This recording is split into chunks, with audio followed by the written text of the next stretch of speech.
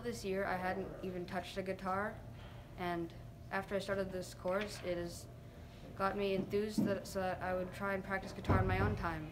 And what's really helped me with that is, with the course here we have at Grant Park, and with that we've used things like Sight Reading Factory, which is an app that challenges you by using random notes on sheet music. Um, I've really enjoyed this course this year. It's gotten me so much better than I ever thought I could with guitar, and uh, I think you should join the course too.